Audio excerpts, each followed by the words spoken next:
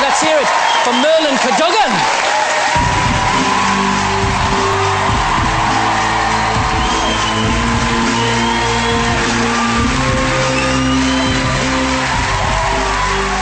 Good evening, ladies and gentlemen.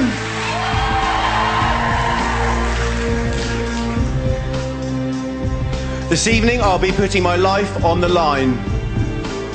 I'm going to attempt to escape from a straitjacket whilst hanging upside down on a burning rope. Harry Houdini broke two ribs attempting this stunt and said it was the most dangerous of all of his escapes. He never tried this stunt with a rope on fire. It will take about one minute for the rope to burn through. If I haven't completed my escape by this time, I could die.